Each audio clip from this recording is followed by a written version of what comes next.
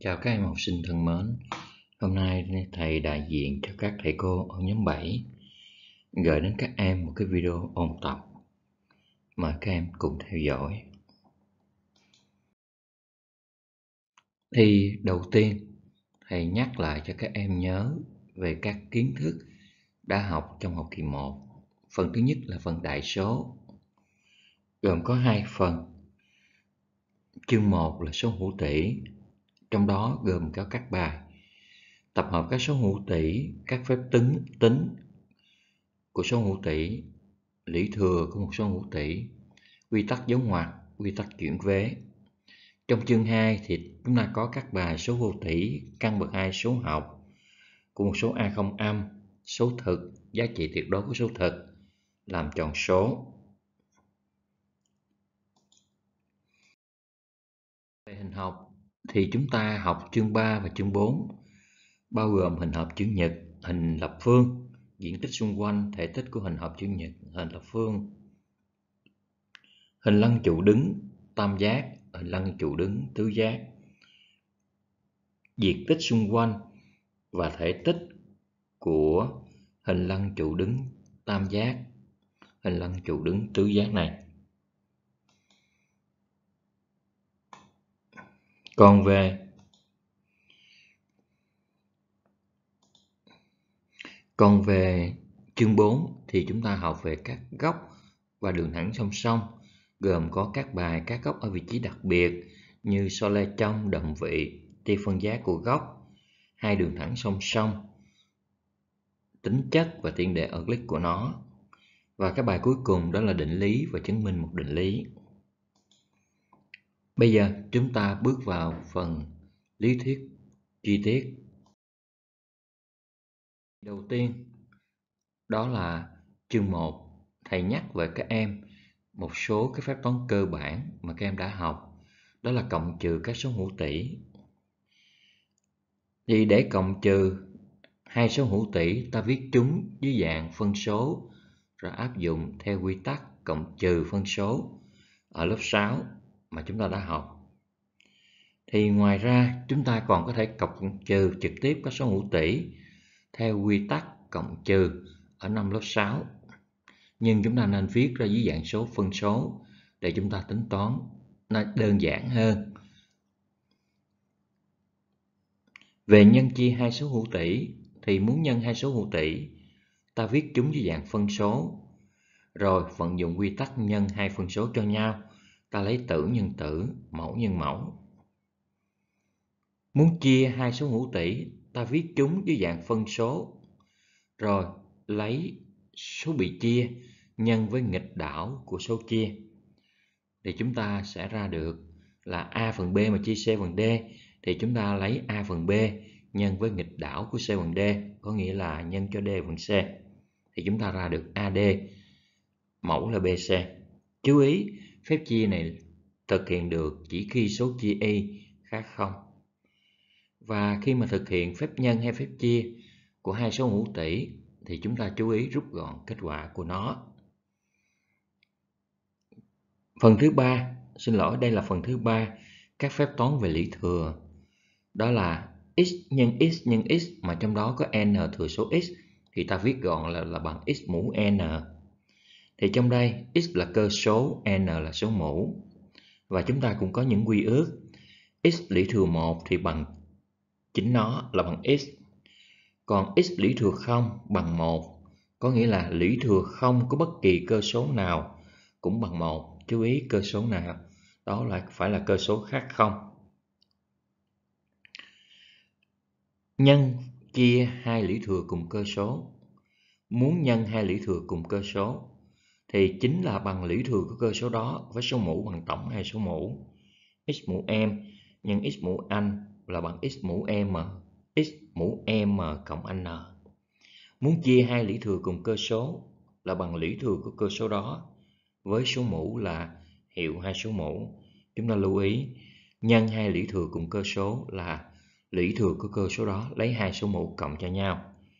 Còn chia thì cũng bằng là lũy thừa của cơ số đó với số mũ là bằng hiệu hai số mũ. trong cái phần lũy thừa này, chúng ta bổ sung thêm một lũy thừa của một tích và lũy thừa của một thương. Thì x nhân y lũy thừa m, thì đây chính là lũy thừa m của tích x nhân y. Thì bằng x mũ m nhân cho y mũ m. X chia y lũy thừa m, đây chính là lũy thừa m của thương x trừ y, chúng ta ghi hàng ngang là như vậy.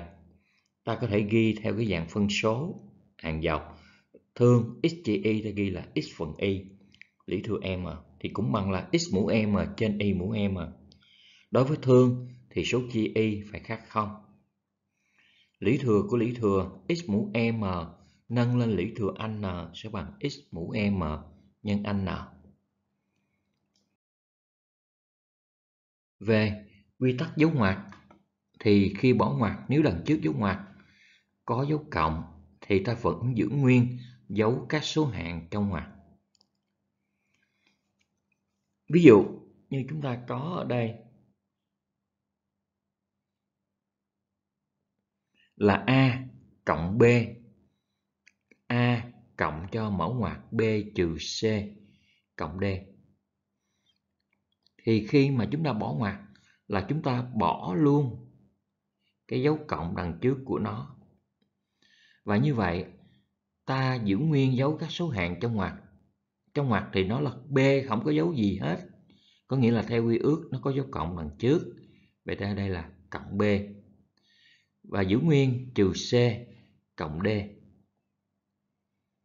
Còn nếu như có dấu trừ ở đằng trước dấu ngoặc thì ta phải đổi dấu tất cả các số hạng trong ngoặc. Ta xem ở ví dụ sau. A trừ cho mở ngoặc B trừ C cộng D. Thì trước ngoặc này có dấu trừ, khi bỏ ngoặc là ta bỏ luôn cái dấu trừ đằng trước này đây. Thì đang là cộng B, ta đổi thành trừ B. Đang là trừ C, ta đổi thành là cộng C. Và đang là cộng D, ta đổi thành là trừ D. Đó là quy tắc dấu ngoặc. Về thứ tự thực hiện các phép tính. Thì nếu biểu thức có các phép toán cộng trừ nhân chia nâng lên lũy thừa và căn bậc hai số học, thì chúng ta thực hiện theo thứ tự là căn bậc hai số học, rồi nâng lên lũy thừa. Kế đến là nhân và chia, sau cùng thì đến là cộng và trừ. Đối với những biểu thức có ngoặc, thì ta thực hiện theo thứ tự ngoặc đơn trước, ngoặc vuông, rồi cuối cùng là ngoặc móc.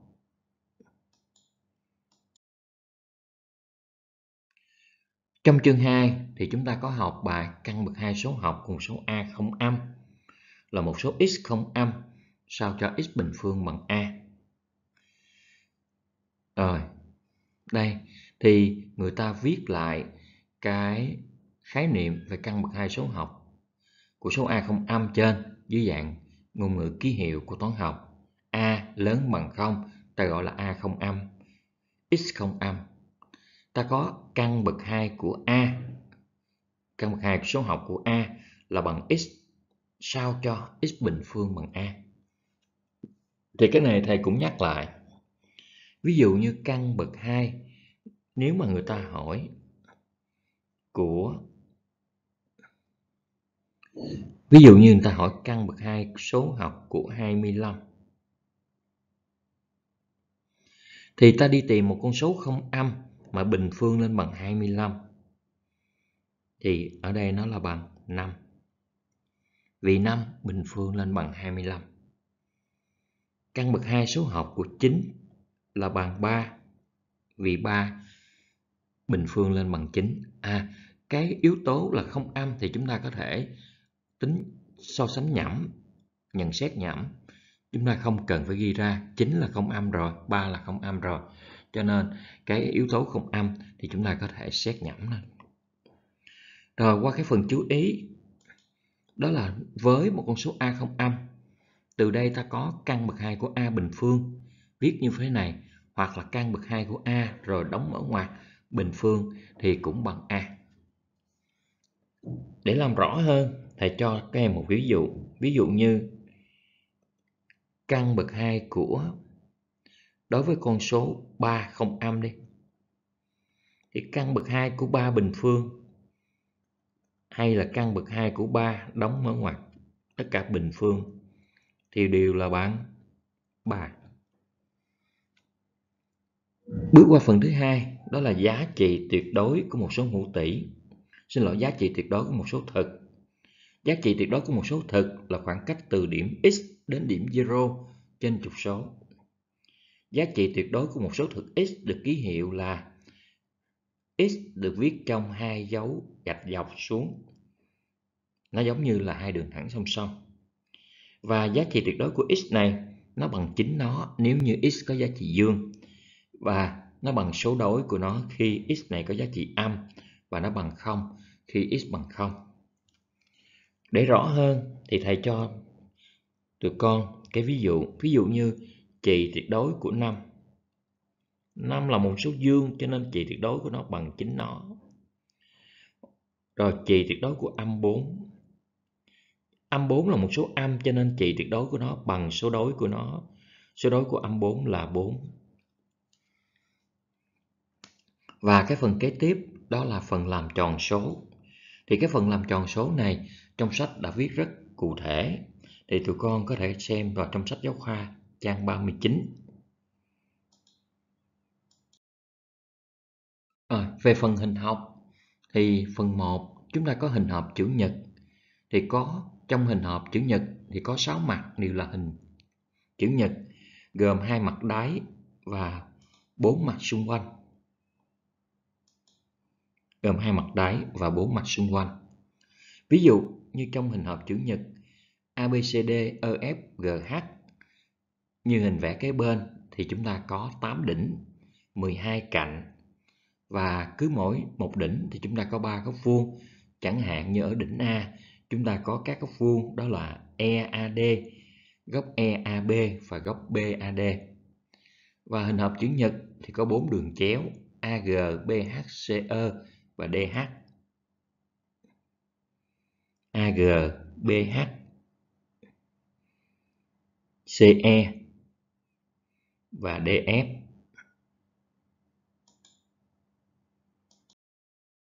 Qua về hình lập phương, hình lập phương là hình gồm có 6 mặt đều là hình vuông. Ví dụ như hình lập phương ABCD MNBQ như hình vẽ đã cho thì cũng có 8 đỉnh, 12 cạnh. Ở mỗi góc đều có 3 góc vuông và có 4 đường chéo. Thì tụi con có thể đọc lại về cái phần này trong sách giáo khoa. Chúng ta tiếp tục.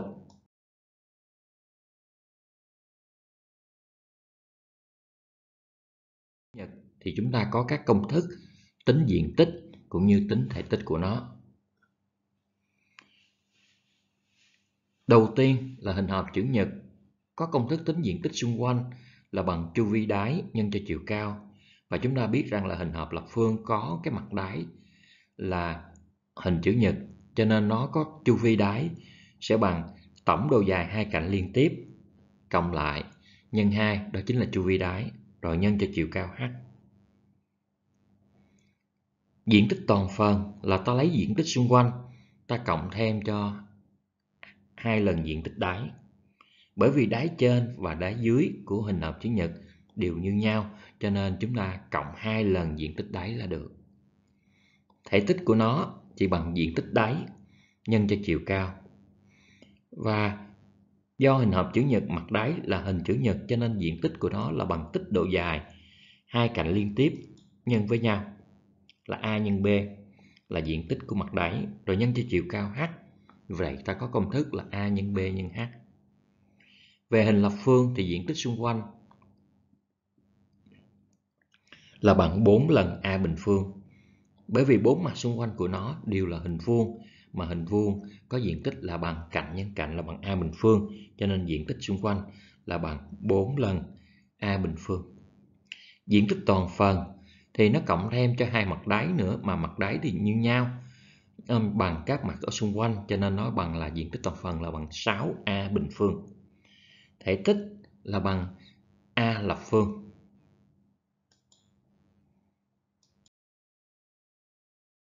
Qua hình lăng trụ đứng đáy tam giác như hình vẽ đã cho và hình lăng trụ đứng tứ giác như hình vẽ bên dưới. Thì chúng ta cũng có diện tích xung quanh là bằng chu vi đáy nhân cho chiều cao. Thì trong cái hình lăng trụ đứng tam giác, chu vi mặt đáy thì mặt đáy là tam giác, cho nên chu vi của nó là bằng tổng độ dài ba cạnh cộng lại. Rồi nhân cho chiều cao h. Rồi còn diện tích toàn phân là ta lấy diện tích xung quanh, ta cộng cho hai lần diện tích đáy. Chú ý, ở đây là đáy tam giác, cho nên chúng ta phải tính có công thức, tính diện tích của tam giác. Còn về thể tích của hình lăng trụ đứng tam giác, ta lấy diện tích đáy, ta nhân cho chiều cao. Tương tự như vậy, chúng ta có hình lăng trụ đứng, tứ giác. Diện tích xung quanh cũng bằng chu vi đáy, nhân cho chiều cao diện tích toàn phần là bằng diện tích xung quanh cộng hai lần diện tích đáy.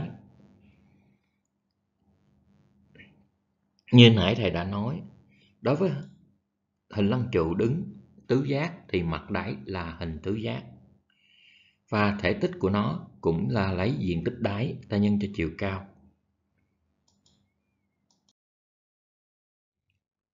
Đây là một số công thức tính về chu vi của hình tam giác, hình thang, hình chủ nhật, hình vuông.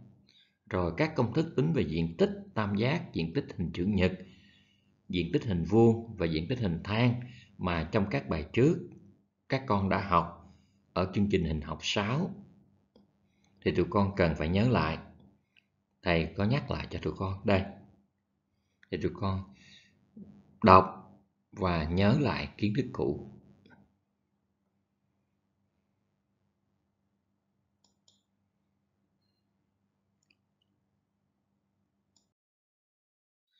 Thì, xong cái phần lý thuyết mà chúng ta cần nhớ về đại số cũng như hình học.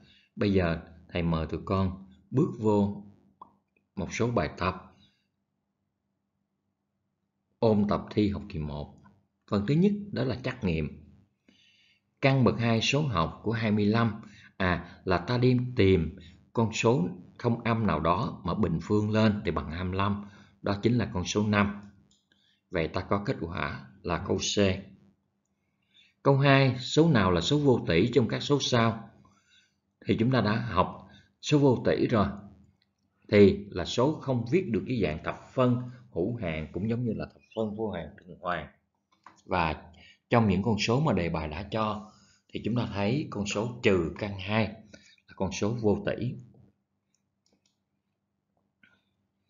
Làm tròn số thì, ở đây người ta yêu cầu làm tròn số đến hàng phần trăm. Thì hàng phần trăm, chúng ta lưu ý. Phần trăm có nghĩa là 1 trên 100 và cái mẫu của nó 100 có hai chữ số 0 như vậy, cái phần thập phân làm tròn, cái hàng quy tròn, đó là có hai chữ số thập phân. Vậy ta làm hàng, tròn hàng phần trăm đó là chữ số 4. Thì ta nhìn qua bên phải chữ số 4 là chữ số 1.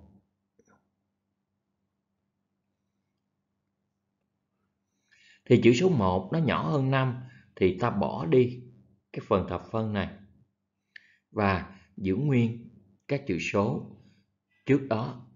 Thì như vậy cái phần làm tròn của chúng ta là ra là 3,14. Cho nên kết quả chúng ta tròn chọn, đó là câu A.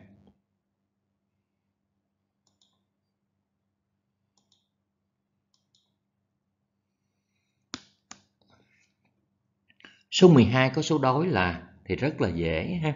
Thì chúng ta có thể chọn kết quả đúng, đó là câu C. Giá trị biểu thức của trị tuyệt đối 22 thì nó bằng là 22 câu A. Câu 6, số nào sau đây không phải là số hữu tỷ? Thì số không phải là số hữu tỷ. Thì đó chính là câu D ha.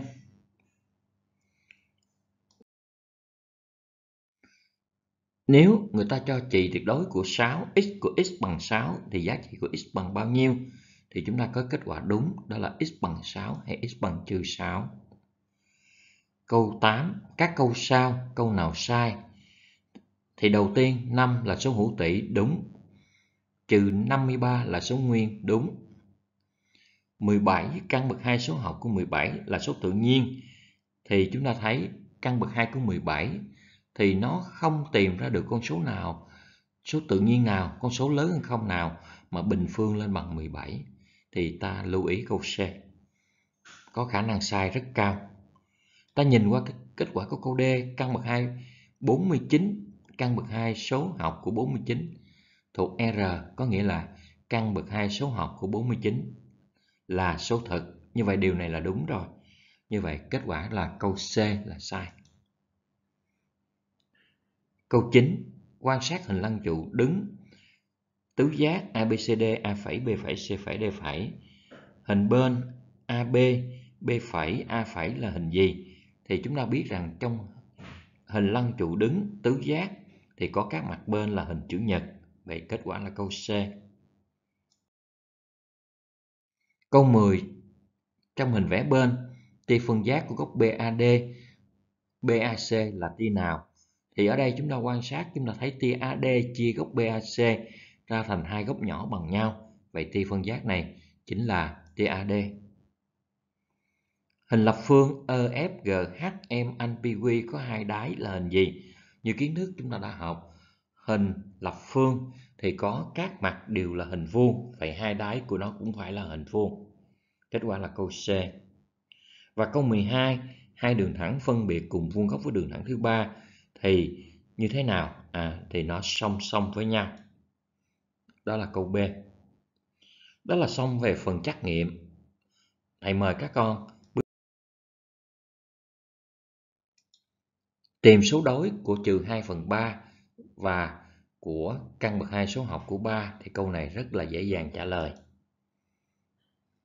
Số đối của trừ 2 phần 3 là 2 phần 3. Số đối của căn bậc 2 số học của 3 là bằng trừ căn bậc 2 số học của 3.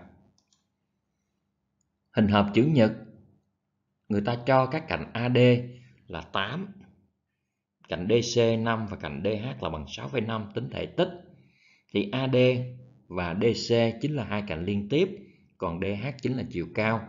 Thì người ta đã cho sẵn rồi. Như vậy chúng ta tính thể tích là ta lấy tích ba cạnh này, ta lấy ba cạnh này nhân lại với nhau. Và chúng ta có bài giải như sau. Bước là bài thực hiện các phép tính. Thì để thực hiện các phép tính này, chúng ta có thể lấy giấy nháp ra, rồi tiến hành quy đồng từng phép tính một ví dụ như 2 phần 3 cộng cho trừ 5 phần 4 thì có mẫu số chung là 12 thì ta quy đồng nhẩm. Thì ở đây là nhân cho 4 là 8 phần 12 thằng này là nhân cho 3 thì là trừ 15 phần 12 hai này cộng lại là bằng trừ 7 phần 12 rồi sau đó trừ cho 5 phần 6 thì chúng ta cũng quy đồng nhẩm ở ngoài giấy nháp, mẫu số chung là 12 thì như vậy, trừ 7 phần 12 trừ cho 10 phần 12 thì ra trừ 17 phần 12. Ở câu B thì chúng ta thấy ở đây nó có cái phép chia. Vậy việc đầu tiên là ta đổi phép chia này ra thành phép nhân. Sau khi đổi ra thành phép nhân thì chúng ta thấy hai cái tích này có một cái thừa số chung, đó là 5 phần 12. 5 phần 12. Ta đặt 5 phần 12 đem ra ngoài làm thừa số chung thì trong ngoặc còn trừ 7 phần 6 cộng cho 19 phần 6 thực hiện phép cộng thì chúng ta ra được 12 phần 6 rút gọn là bằng 2. 5 phần 12 mà chúng ta nhân cho 2 thì ta được kết quả là 5 phần 6. Ở bài thứ ba là chúng ta phải đổi nó đổi các cái lũy thừa này sang lũy thừa của số nguyên tố. Thì 8 lũy thừa 3, 8 là bằng 2 mũ 3 lũy thừa 3. Rồi chúng ta sử dụng công thức của lũy thừa với lũy thừa ta đổi nó ra là bằng 2 lũy thừa 9. Tương tự như vậy 6 là bằng 2 nhân 3 tất cả lũy thừa 15. Thì như vậy, trên tử của nó là nhân cho 2 lũy thừa 15 nhân 3 lũy thừa 15. Tương tự như vậy cho mẫu ta thực hiện phép biến đổi. Thì sau khi chúng ta đưa về lũy thừa của số nguyên tố và chúng ta rút gọn lại, thì chúng ta có được là trên tử là 2 lũy thừa 24 nhân 3 mũ 15 mẫu là 2 mũ 18 nhân 3 mũ 15. Chúng ta rút gọn các lũy thừa có cùng cơ số. À, ở đây 3 mũ 15 rút gọn cho 3 mũ 15 thì trên tử còn 1 dưới mẫu còn 1. 2 mũ 24 rút gọn cho 2 mũ 10, 18 thì trên tử còn 2 mũ 6 rồi à, mấy cái số kia nhân cho 1 thì kết quả cuối cùng vẫn là còn 2 mũ 6 là bằng 64 bài kế tiếp là bài tìm x, câu A. X này đóng vai trò là số hạng chưa biết. Để tìm x, ta lấy tổng trừ cho số hạng đã biết. Thì kết quả dễ dàng, ta tìm được là trừ 1 phần 10 ở câu B, nó liên quan đến bài toán, liên quan đến trị tuyệt đối. Thì trong đây, trị tuyệt đối này nó đóng vai trò là số trừ.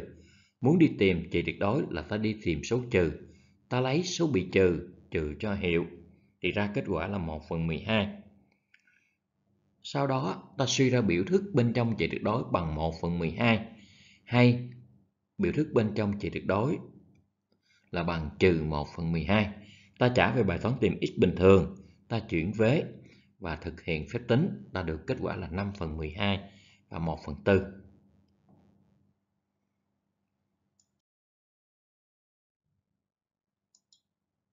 Bài số 5 Nhân dịp Black Friday, một shop thời trang giảm giá 20% toàn bộ sản phẩm của shop. Đặc biệt nếu khách hàng có thẻ thành viên thì được giảm thêm 10% trên giá đã giảm. Cô Lan là thành viên của một của shop. Khi mua một bộ áo dài, cô trả 1 triệu 440 nghìn đồng. Hỏi giá bán ban đầu khi chưa giảm giá là bao nhiêu? Thì như vậy đầu tiên chúng ta phân tích bài toán. À, như vậy cái giá ban đầu mình chưa biết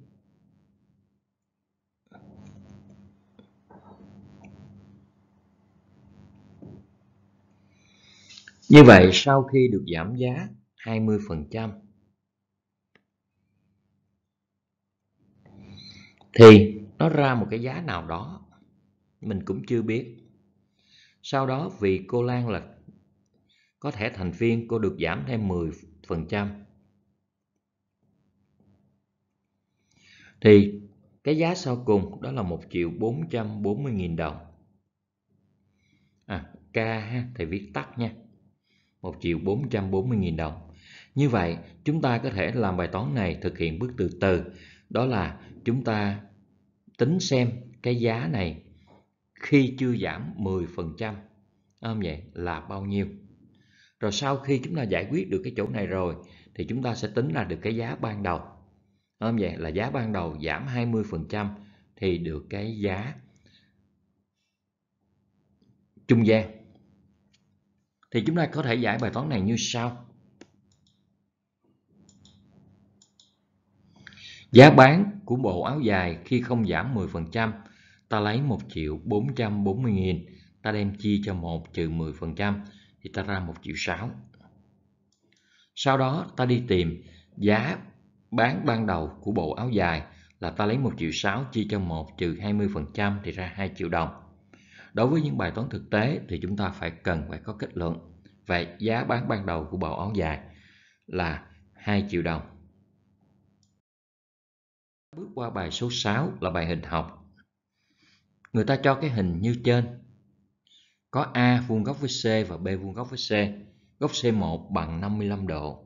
Người ta yêu cầu chứng minh A song song với B.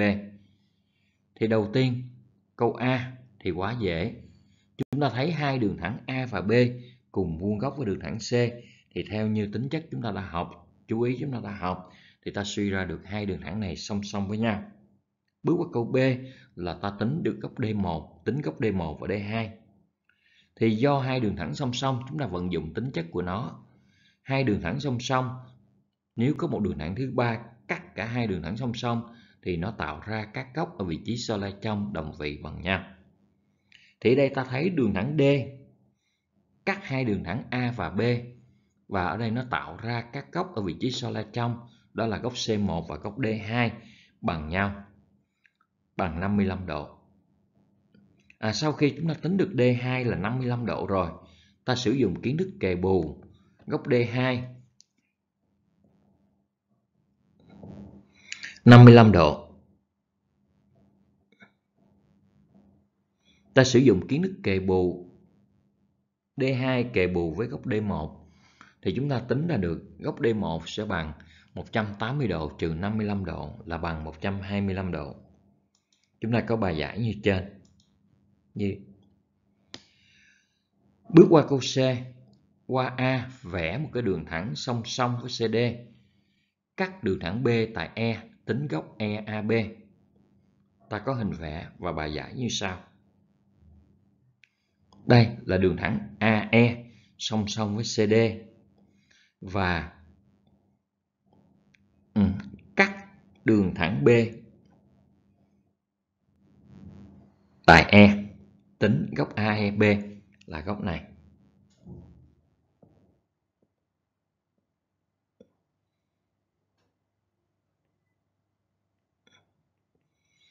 Tính được, muốn tính góc này thì chúng ta thấy rằng à cái góc A BAE này đây là bằng cái góc DAB 90 độ trừ cho cái góc DAE. Vậy chúng ta cần phải tính cái góc DAE này đây. Mà chúng ta thấy góc DAE với là cái góc D2 là hai góc ở vị trí đồng vị, mà lại do hai đường thẳng AE và đường thẳng D song song với nhau. Vậy hai góc ở vị trí đồng vị này bằng nhau.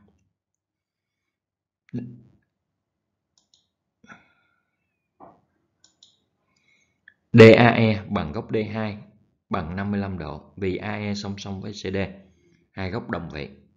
Sau khi có được cái góc này rồi, 55 độ này rồi, chúng ta lại thấy góc DAE cộng cho góc BAE thì bằng góc DAB là bằng 90 độ.